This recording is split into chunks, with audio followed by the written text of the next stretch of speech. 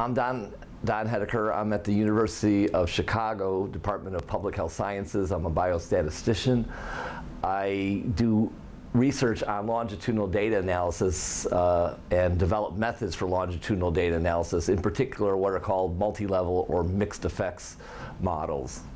For the summer program, I teach a week-long course called Longitudinal Data Analysis, including categorical outcomes. I would say the goals are that the students taking the course, at the end, they can analyze their own longitudinal data using the methods that they learn in the class with confidence. And so and they, they know how to interpret the results.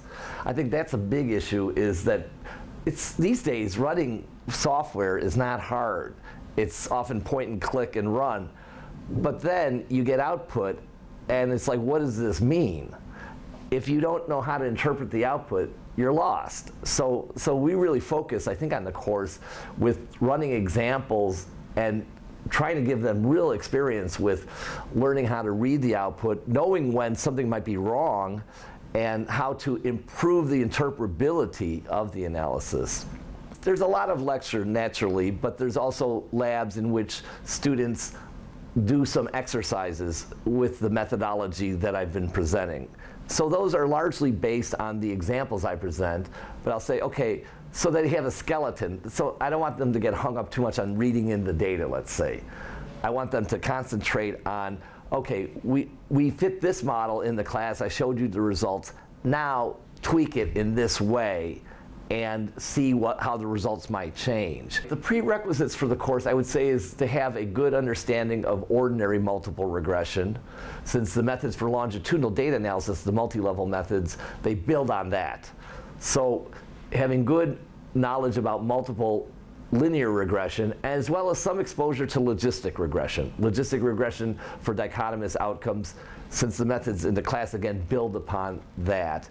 And really, in, we focus mostly in terms of software on Stata and SAS, so some experience with doing analyses with either Stata or SAS, or both if you're so inclined.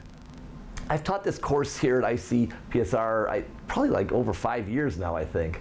And the participants have been pretty varied. You, uh, you get some students that are working on their PhD, you get some junior faculty, some postdocs, and from a wide number of areas, political science, social science, some from more quantitative areas. Uh, so it's, it's quite varied. And that's what makes it kind of interesting is that, and that's I think also what makes the, the labs interesting is that students learn from each other. Because there's some students that, that can grasp how to do these things a little bit quicker. And they can help the other students that, that, that, that have to have a little bit more guidance, let's say you know, I try to be hands-on, but also showing a little bit of the theory behind the methods, because it, it just seems like um, if you want to apply these methods to your own data, uh, having a good foundational understanding of the methods uh, helps. So then it, you will know how to apply these methods and how to, again, to interpret them in meaningful ways. So obviously within a, a week, we can't get super detailed on the theory, the derivation, stuff like that. But I certainly want to give the, the students a flavor for how these models are estimated, uh, what to look for if things might go, go wrong. I mean, it's very common for I get people coming into my office, let's say, they look directly at the, the p-values, let's say, for the variables they're interested in. I say, well, let's back up. Let's see how many subjects are in this analysis. Is that how many subjects are in your study? you know, things like that. Before we get to the p-values, let's see, has the analysis been conducted in the way you think it should be? Because it's quite easy to make a mistake or the software does something that you don't expect.